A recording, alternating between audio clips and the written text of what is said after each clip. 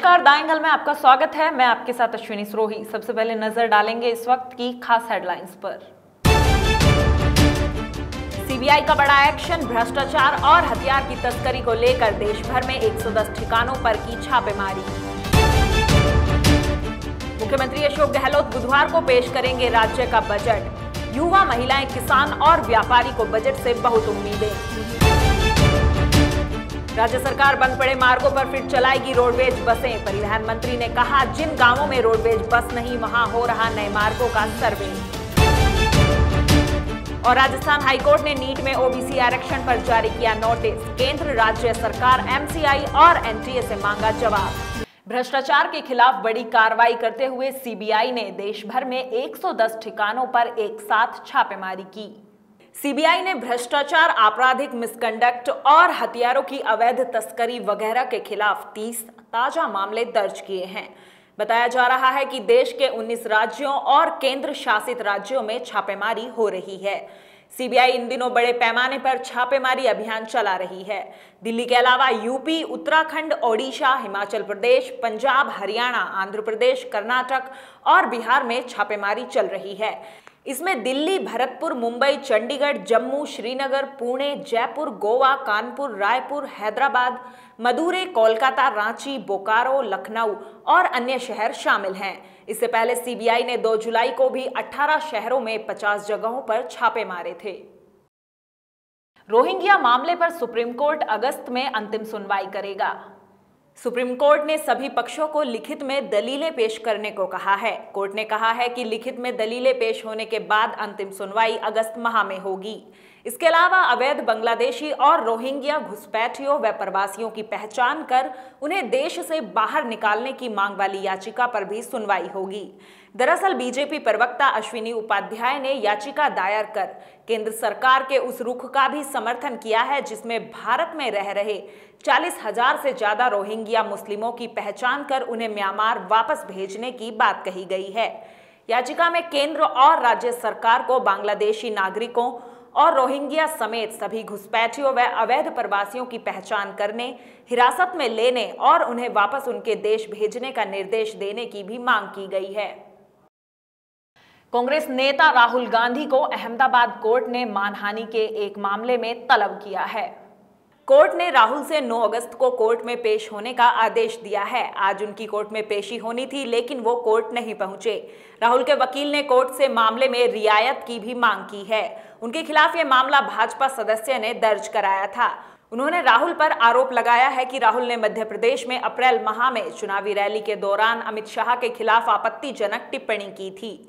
राहुल ने उन्हें हत्या का आरोपी कहा था। राहुल ने 23 अप्रैल को रैली में अमित शाह के खिलाफ हत्या के मामले का हवाला देकर हमला बोला था।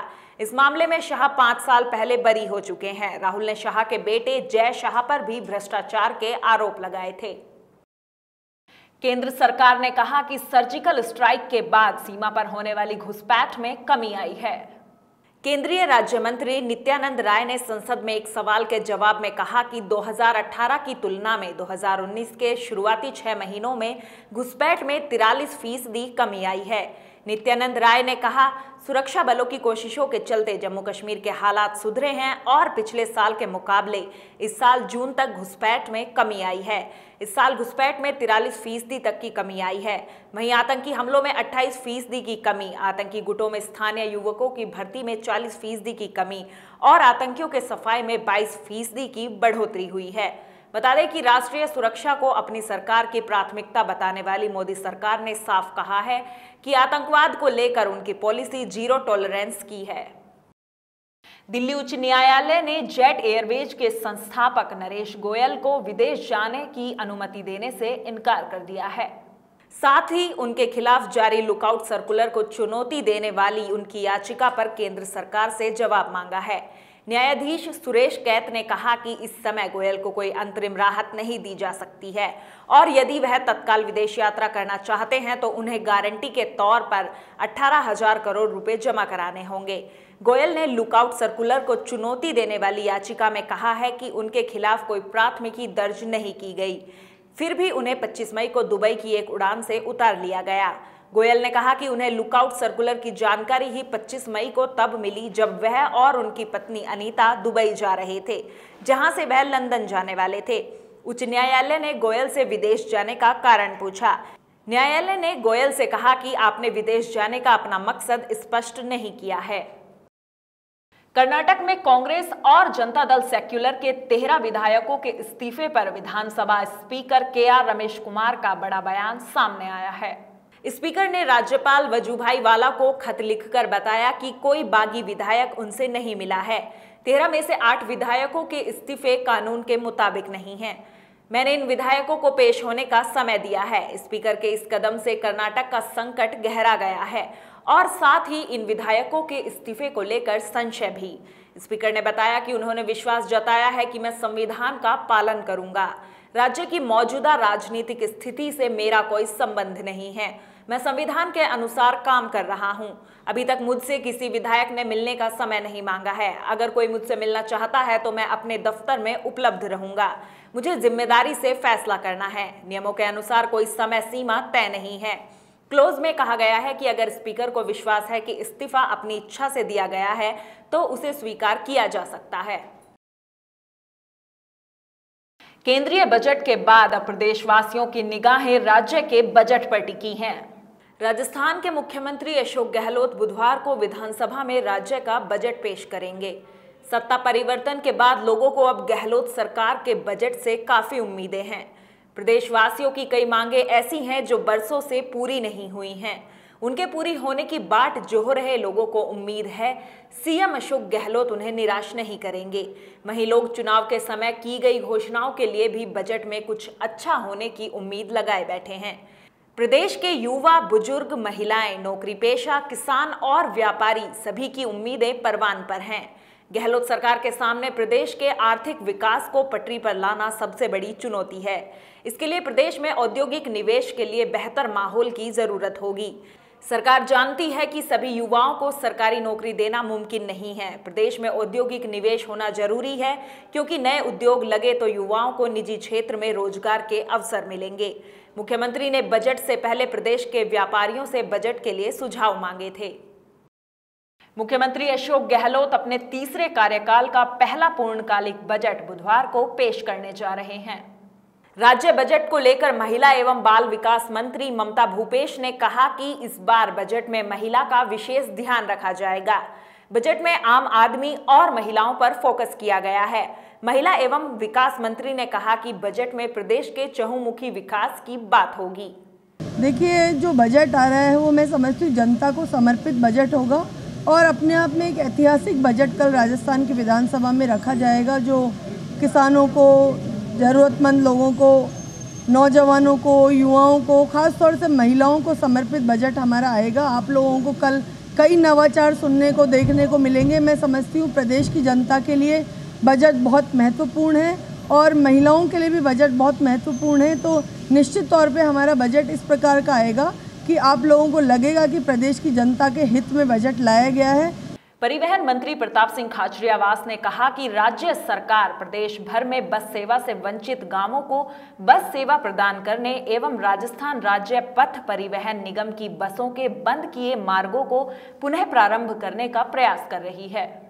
इसके लिए वर्तमान में सर्वे कराया जा रहा है। परिवहन मंत्री ने मंगलवार को विधानसभा में प्रश्नकाल के दौरान विधायकों की ओर से इस संबंध में पूछे गए पूरक प्रश्नों का जवाब देते हुए यह जानकारी दी।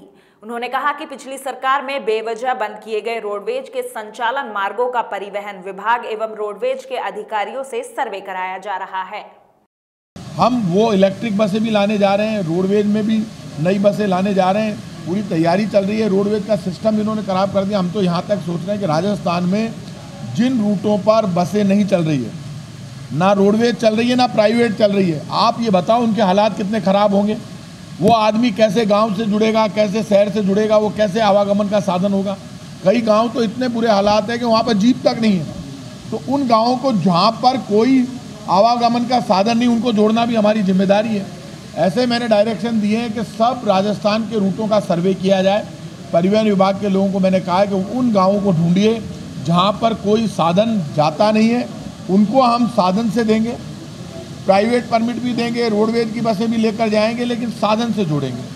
बाड़ी विधायक गिरिराज सिंह मलिंगा ने विधानसभा में पूर्व विधायक जसवंत सिंह पर लगे हत्या के आरोप का मामला उठाया है। उन्होंने कहा कि पूर्व विधायक जसवंत सिंह ने हत्या के मामले में अपनी राजनीतिक प्रभाव का उपयोग कर जाँच अधिकारी बदलवाकर मामले को रफा दफ़ा करवा लिया। इसके चलते भाजपा सरकार ने परिवादी के साथ अन्याय किया और मामले में सबूतों को जाँच अधिकारी ने अनदेखा किया। विधायक मलिंगा ने सदन में बताया कि धौलपुर ज़िले के थाना निहालगंज में परिवादी मानसिंह बेटे गोपाल ने दर्ज कराया था। सदन में मैंने मांग रखी थी, एक बेचारा न्याय माँगता फिर रहा है उन्नीस सौ छियानवे से, और आज तक केहू सरकार आई और केहू गई, किसी ने उसको न्याय नहीं दिलवाया। जब उसमें जाँच चली, जाँच चलने के बाद में आधे अधूरे तथ्य आए, उसके बाद में वो सरकार बदल गई। तो जो जाँच अधिकारी था गुलाम नबी, उसने मैं जाँच में भाजपा के पूर्व विधायक जसवंत सिंह गुजर को दोषी करार देते हुए, आप कहते हो उसकी चार सीट भी रखी है मेरे पास, आप उसको भी ले सकते हैं, आप देख सकते हैं। चार सीट में उसको मुंजिम माना है। और उस उस बेचारे को आज तक न्याय नहीं मिला। जब इतना गंभीर मामला तीन सौ दो का मामला है ये। उसके बाद में मैंने सरकार से मांग करी है कि इसकी पुनः जाँच कराई जाए और बेचारे जो पीड़ित बच्चे उसको न्याय दिलाया जाए। भाजपा विधायक अशोक लाहोटी ने मुख्यमंत्री अशोक गहलोत पर आरोप लगाया है कि वे बजट को लेकर सीएम से मिलना चाहते थे, लेकिन उन्हें मिलने का समय नहीं दिया गया। उन्होंने कहा कि वे मुख्यमंत्री को बजट के लिए सुझाव देना चाहते थे और कई बार उन्होंने सीएम से मिलने के लिए संपर्क भी किया। लेकिन सीएम गहलोत ने उन्हें समय तक देना उचित नहीं समझा। भाजपा विधायक अशोक लाहोटी ने बताया कि मुख्यमंत्री अशोक गहलोत से मुलाकात कर आगामी बजट के लिए कई महत्वपूर्ण सुझाव देना चाहते थे। पूर्व महापौर ने कहा कि अशोक गहलोत के बुधवार को पेश होने वाले प्रदेश के बजट से उन्हें कोई उम्मीद नहीं है। मुख्यमंत्री जी से मैं सांगानेर की समस्याओं के लिए समय मांग रहा हूँ। वो समय नहीं दे पा रहे हैं, क्योंकि वो समस्याएँ लेना ही नहीं चाहते। सांगानेर में एलिवेटेड रोड बनाई जाए, टोंक रोड से लेकर डिग्गी मालपुरा रोड तक एलिवेटेड रोड बनाई जाए, जिससे लाखों लोगों का आवागमन जो प्रभावित हो रहा है, वो बंद हो। 600 कॉलोनियों में मूलभूत सुविधा उपलब्ध नहीं है। ना पीने का पानी है, ना सीवरेज है और ना सड़क है। ये जयपुर शहर की जो सेल्फ मेड कॉलोनी है, जिसको सरकार अवैध कॉलोनियाँ कह रहे हैं ऐसी सेल्फ मेड कॉलोनियों में लोग नर के जीवन जी रहे हैं। बारिश आ गई तो घुटनों घुटनों तक पानी भरा हुआ है। इन सब के लिए कोई बजट का प्रावधान करें। इसके लिए मैं मुख्यमंत्री जी से मिलना चाह रहा हूँ। सांगानेर की खुली जेल को स्थानांतरित करें। वहाँ पर एक दिल्ली हाट की तरह जयपुर सांगानेर हाट बनाया जाए। लेकिन किसी प्रकार का उनके पास ना समय है, ना वो बजट पे कोई सुझाव लेना चाहते हैं। मुझे लगता है कल बजट केवल खाना पूर्ति पर आएगा। राजस्थान हाईकोर्ट ने नीट प्रवेश प्रक्रिया में ओबीसी आरक्षण दिए जाने के मामले में हाईकोर्ट ने राज्य और केंद्र के साथ साथ एमसीआई और एनटीए को भी नोटिस जारी किए हैं। जस्टिस आलोक शर्मा की खंडपीठ ने यह जवाब समता आंदोलन समिति और अन्य की याचिकाओं पर सुनवाई करते हुए मांगा है। याचिकाकर्ताओं की ओर से एडवोकेट शोभित तिवाड़ी ने अदालत को बताया कि संसद ने 15 अगस्त 2018 को 102वें संविधान संशोधन में राष्ट्रीय पिछड़ा आयोग को संवैधानिक दर्जा देते हुए ओबीसी निर्धारण की प्रक्रिया तय कर दी है। आयोग की सिफारिश पर संसद ओबीसी वर्ग में आने वाले जातियों का अनुमोदन करके राष्ट्रपति को भेजेगी। वहीं राष्ट्रपति की आज्ञा से देश में ओबीसी जातियाँ अधिसूचित होंगी। लेकिन संशोधन के बाद आज तक राष्ट्रपति ने किसी भी एक जाति को ओबीसी में अधिसूचित नहीं किया है। लेकिन फिर भी प्रदेश में होने वाले सभी भर्ती परीक्षाओं में ओबीसी को आरक्षण दिया जा रहा है, जो पूरी तरह असंवैधानिक है। बहस सुनने के बाद खंडपीठ ने केंद्र और राज्य सरकार सहित पाँच को नोटिस जारी कर पूछा कि क्यों नहीं बिना ओबीसी आरक्षण के ही नीट में प्रवेश दिया जाए। आज के बुलेटिन में बस इतना ही। बने रहिए दाएंगल के साथ। नमस्कार।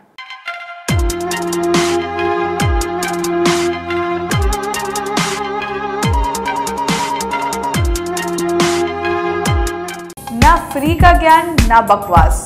बस हर खबर पर आपका एंगल। तभी तो नंबर वन है द एंगल। सब्सक्राइब कीजिए और लाइक और कमेंट चिपकाइए।